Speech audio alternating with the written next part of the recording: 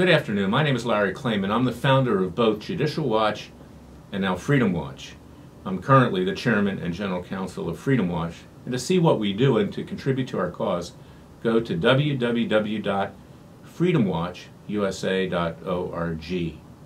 This is an update with regard to the scandal involving unconstitutional illegal surveillance of American citizens by the Obama administration in particular and the Trump team both before the election and after the presidential election, which ultimately resulted in General Michael Flynn having to resign as National Security Advisor quite unfairly and improperly.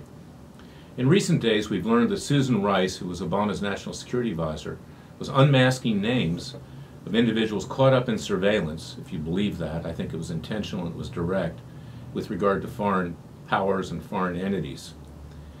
And during this time period, before this revelation, when President Trump first tweeted that he thought that he was being wiretapped by Obama, he was vilified widely, particularly by the leftist media like CNN, MSNBC, NBC. He was called crazy, he was called insane, he was, as he is virtually every minute of every day, called a liar. But in fact, the real liar here is Susan Rice. She lied about Benghazi, claimed that it was the result simply of an attack by individuals, in the words of Hillary Clinton, who then lied, just like her later before Congress, out for a walk one day that were upset about a video of the Prophet Muhammad, which, by the way, was accurate. Uh, we don't need to get into that here. The guy was a degenerate.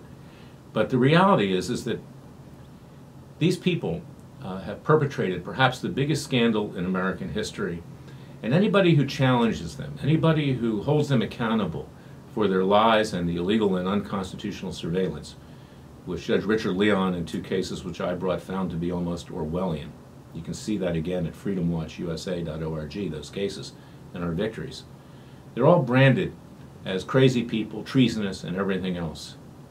And Judge Napolitano, Andrew Napolitano, a friend of mine on Fox News, was also vilified for saying that British intelligence was somehow involved in this illegal surveillance of Trump people and Trump himself. And just yesterday we found out, in fact, CNN had to eat its words, that in fact that had occurred. The British intelligence was forwarding information about people on the Trump team and perhaps Trump himself to the Obama administration, obviously to use for political purposes. So not only does Judge Napolitano deserve a apology, but so does President Trump himself.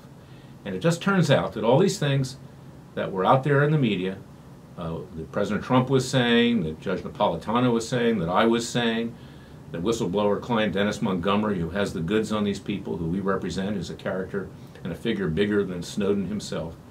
We can tell you that the Chief Justice of the Supreme Court, 156 judges, other prominent businessmen, myself, and President Trump himself have been illegally surveilled for years. We all turned out to be correct. We don't need to apologize for anything, but they need to apologize for us. And better than apologizing to us, frankly, these people should be sued for defamation. That's CNN, MSNBC, NBC. We have a leftist media strike force. We're looking for means to do that daily.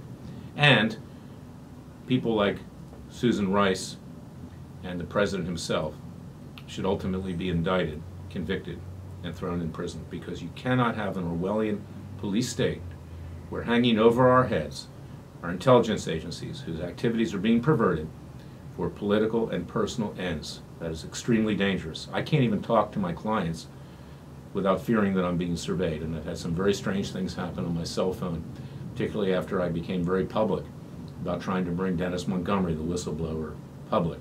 There will be further lawsuits on that, just watch.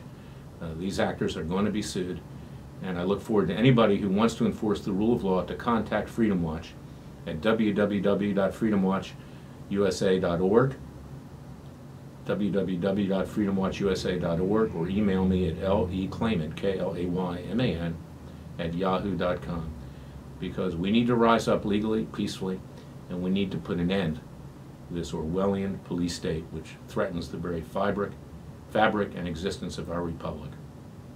I want to wish you all a happy Easter and a happy Passover. God bless you.